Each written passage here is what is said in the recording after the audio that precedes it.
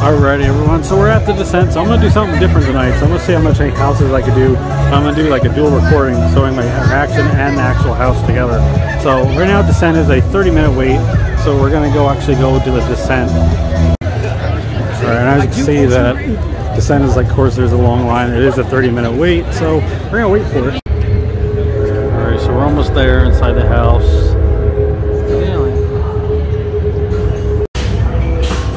One of those, look how good Wildcat looks like in the dark. It looks really cool with the fog. But that ride is sadly no more. Who knows what will become of it next? The you look, there's no rug, you just walked. Now get closer, come on. There are folks behind? Now everyone! We have a Veriscope, a very powerful rug. It allows the key band to see the past, the present, and the future parts each and every clip. You do lose a piece of your soul and cause complete and total chaos. Ma'am, ma'am, whatever you're about to do, please don't do this, please! Please, sir, I need to know what happened to my husband. You don't understand. This is our last house. Please!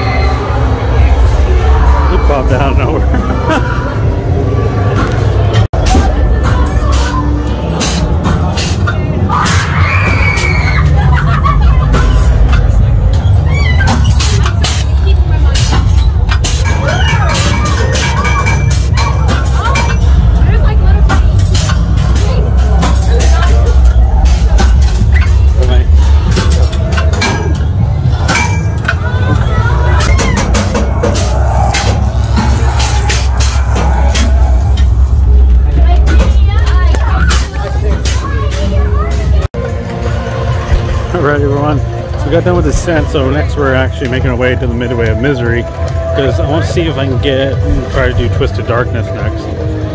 So we're going to try to do that house as well next.